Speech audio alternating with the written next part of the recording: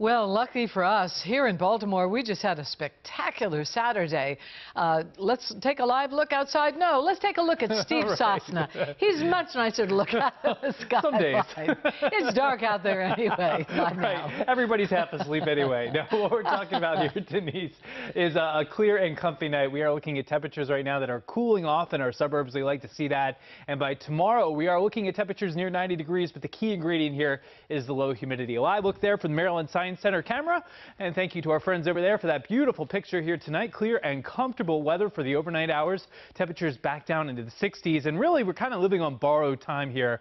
Another decent day tomorrow. Temperatures up near 90 degrees, maybe a stray afternoon thunderstorm. But we are going to quickly hit the gas pedal in terms of the heat building here next week. I think by the time we get into Tuesday, temperatures in the 90s.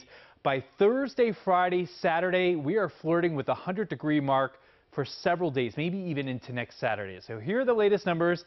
These are subject to change. We could be bumping these up a little bit, but for now, 93 on Tuesday, 96. These are actual air temperatures on Wednesday, 97 Thursday, 99 on Friday. Right now I'm going 98 on Saturday. If the cold front is a little bit later than that, could be near 100, but by Sunday we break that heat down into the 80s. Here are the feels like temperatures.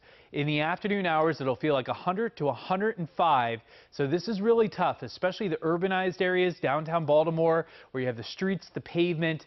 Temperatures at night probably not dropping below 80 degrees. That is stifling for the body. So it's important to take some breaks and be good to your body and check in on your friends and your family. Again, this is not now, but it's coming up. So just put that in the back of your mind. We have a nice, beautiful evening and night to enjoy. Tomorrow, temperatures, these are seasonably hot temperatures. This is what you would expect in late July. 89 degrees Inner Harbor, 89 BWI, 87 Elkridge, 86 Towson, and 87 toward Perry Hall. But as you can see, the muggy meter goes up, and along with that will be the isolated chance of a shower or thunderstorm here tomorrow afternoon.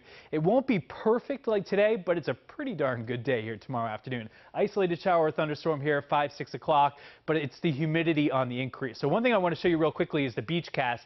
There will be major relief at the beaches here. It will not get stifling hot. So if you have that option for maybe a day or two, maybe you want to take a day trip out there and get that refreshing sea breeze. 88, good chance of storms on Monday. Then heat bakes us on Tuesday, 93, 96 on Wednesday. And there you go. The latest numbers Friday and Saturday is when the O's come back to town. Whew. Shady seats are the premium there. Upper 90s, feeling like 100 to 105. Denise?